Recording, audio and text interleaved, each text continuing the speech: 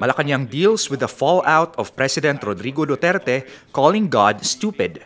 Presidential spokesperson Harry Roque says the remark ought to be seen as an expression of personal belief.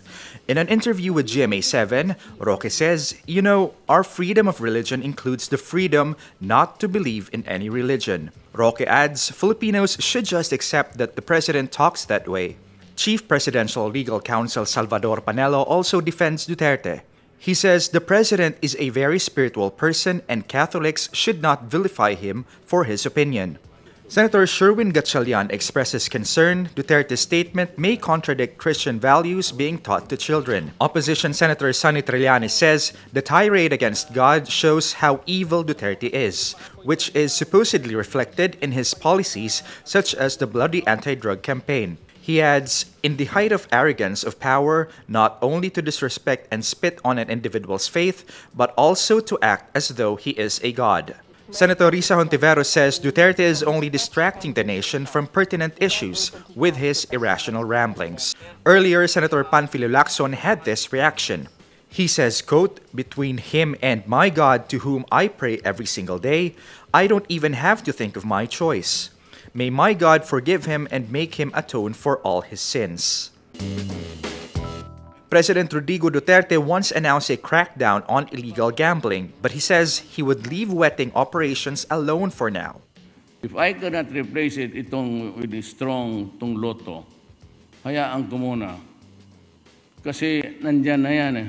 Duterte says jueteng, an illegal numbers game, is an economic activity that helps circulate money in provinces. He adds if he orders police to crack down on wetting, no other economic activity would take its place and may cripple local economies. Kung wala akong pangpalit sa wedding, ano ang gawin ko? Madali lang mo yan. Pag may isang sugal na ng bara, sabihin ko, relibo ka, umalis ka dyan. Ikaw, no? hulihin mo yan yan lahat. Then, what is the activity, economic activity? Duterte says he is brainstorming with some cabinet members on a system that would guarantee income to the government. His latest remarks contradict his usual tough talk on crime, particularly on illegal gambling. In 2016, he threatened to close all online gambling operations. The year after, he signed an executive order to intensify the fight against illegal gambling. Ombudsman Conchita Carpio Morales clears former Interior Secretary Mar Roxas of plunder but indicts Jun Abaya for graft. The former Transport Secretary allegedly gave unwarranted benefits, advantage, and preference when the maintenance contract of the Metro Rail Transit 3 was awarded to Busan Universal Rail Incorporated. In a statement, Morales says Abaya, quote, deliberately ignored applicable laws, rules, and regulations and standard operating procedures. The contract was worth 4.25 billion pesos, but Morales drops the plunder complaint against Abaya for lack of probable cause.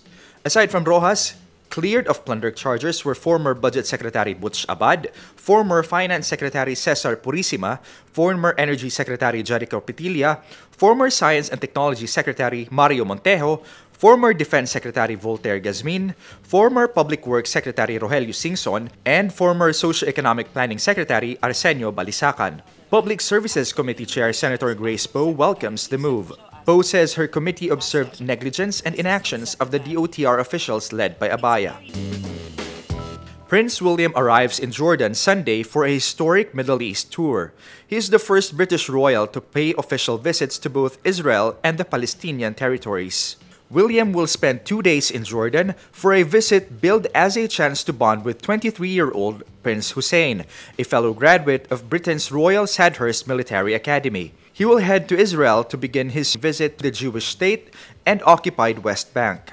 He will hold talks with both Israel's Prime Minister Benjamin Netanyahu and Palestinian President Mahmoud Abbas. Kensington Palace emphasizes the non-political nature of William's visit, but the region is a minefield of sensitivities. The visit comes at a particularly volatile time after US President Donald Trump recognized Jerusalem as a capital of Israel, sparking Arab outrage.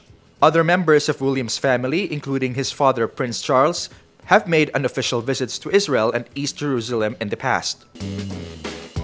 Actor Kit Harington, who plays Jon Snow in Game of Thrones, married his love interest in the series, Rose Leslie, in a ceremony on Saturday, June 23 at Aberdeen, Scotland. Leslie plays Ygritte on the show. CNN reports other cast members, Emilia Clarke, Sophie Turner, Maisie Williams, and Peter Dinklage were among those who attended the wedding. Leslie and Harington met in 2012 while doing the show. Their engagement was announced in the Times last September. In 2016, Kit talked about his romance with Rose at the Jonathan Ross show, saying, I fell in love in Iceland. This is Rose, who plays Ygritte, who I've met, who is just the loveliest girl and she could do so much better.